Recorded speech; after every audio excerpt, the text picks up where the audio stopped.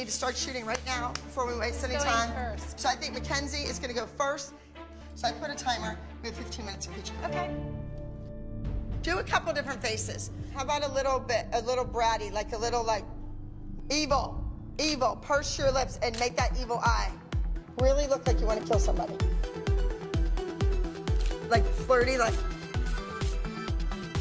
little smile.